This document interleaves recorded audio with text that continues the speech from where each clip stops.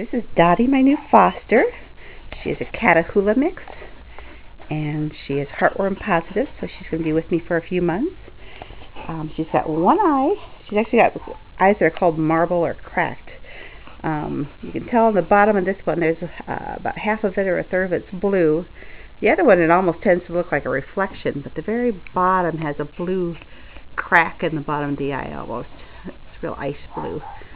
She's a sweetheart. You can hear one of my other fosters barking in the background. She wants inside. Hi, are you a sweet girl? Huh? Are you a sweet girl? Yes, you are. She just loves to be pet. She's had a really rough life. Yeah. Yeah, you just love the attention, don't you? Yes, you do. And then when you stop, she's like, no, don't stop. Don't stop. Yeah super sweet girl.